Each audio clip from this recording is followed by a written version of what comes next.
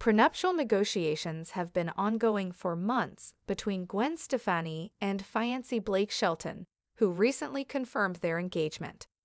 The singers announced their intention to tie the knot last week. Blake, 44, made the No Doubt singer, 51, a $500,000 ring by hand and asked permission from her dad before proposing.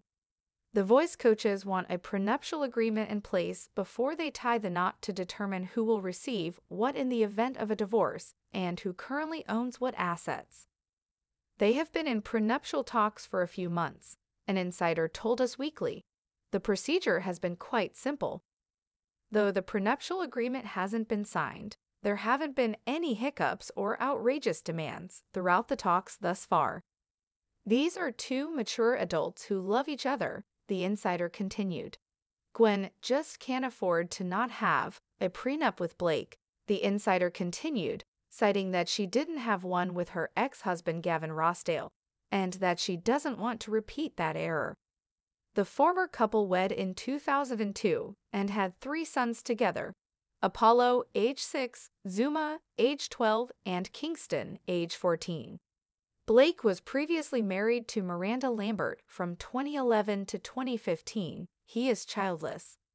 He had grown close to Gwen's children over the course of their five year romance, particularly when the family spent months sequestered together at his Oklahoma ranch at the beginning of the pandemic. Those boys hold Blake in high regard, an insider revealed a few months prior. As a father figure, he has gained their respect. He is now a significant parental influence instead of just being their friend.